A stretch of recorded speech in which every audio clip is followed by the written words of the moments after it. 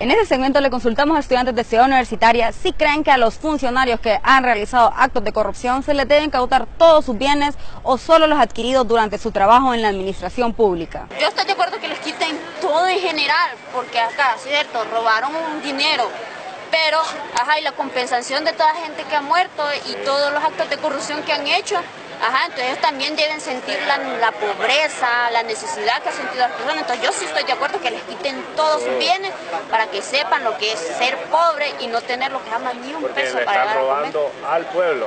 Robaron el dinero del pueblo, los impuestos que pagan las personas eso es lo que se metieron al bolsillo y, yo creo que lo deben quitar. Tendrían que incautarles todos sus bienes desde, el principio. Personalmente creo que al principio de la investigación deberían incautársele todos los bienes que poseen, porque no se sabe a ciencia, a ciencia cierta qué bien obtuvo por medio de corrupción y, y cuál no. Creo que les deberían incautar todos los bienes, porque el mal que hicieron, el mal que hicieron eh, merece castigo que solo deberían incautarle a los que tienen en su periodo de gestión porque, o sea, es algo que ya te pertenece, que no necesariamente, o sea, por muy corrupto que seas, por todo lo malo que hayas hecho, o sea, son tus pertenencias y dejas una familia por detrás sin nada. Y hacer lo que supuestamente adquirieron durante la gestión, es decir, los bienes que una persona adquiere antes de, creo que no están sujetos a a menos que se pueda demostrar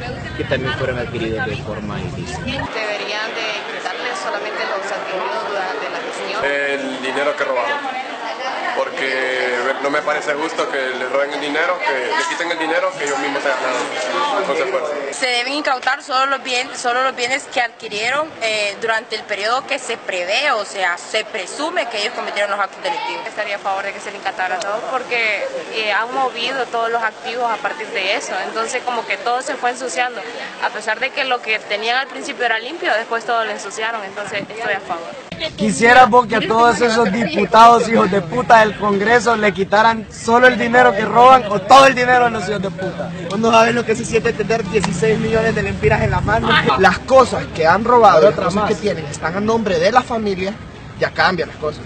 O si de hecho son tan inteligentes y ponen las cosas en, pues forma de patrimonio familiar, que el patrimonio familiar no lo puede tocar nadie. Sí, pero nunca vas a saber vos y todo lo que hicieron lo cambiaron, Eso, eso está en los tribunales, eso está en los tribunales. Para los tribunales que, que, que no es de ellos. Tiene que estar apuntado y establecido y O sea, ellos van, obviamente, ellos van a sacar dos carritos de los 10 que tienen y van a decir, no, eso fue lo único que agarré, lo demás ya lo tenía. He dicho, caso cerrado. Muchos de nuestros entrevistados se oponen a que los funcionarios acusados de actos ilícitos y malversación de caudales públicos se les despoje de sus pertenencias si estas no se obtuvieron mediante actos ilícitos.